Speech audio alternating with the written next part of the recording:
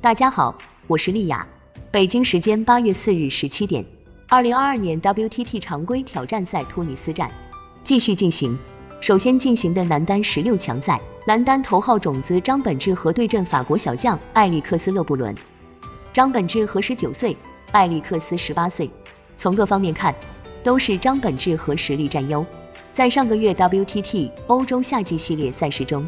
艾利克斯在球星挑战赛十一比三输给了马龙，凭借外卡参加的冠军赛战胜了奥恰洛夫，上升势头强劲。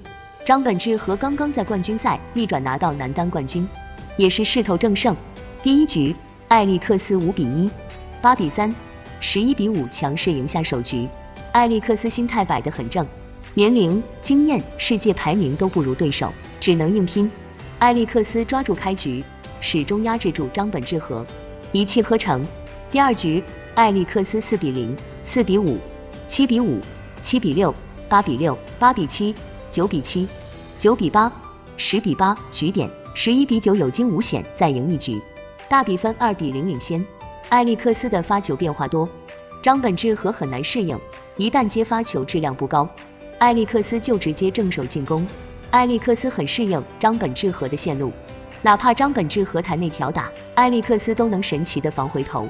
第三局，双方一直纠缠到五比五，在五比六落后的情况下，张本智和请求暂停，埃利克斯六比六、九比六、十比七拿到三个赛点，最终十一比七赢下最后一局，大比分三比零完胜张本智和，强势晋级男单八强。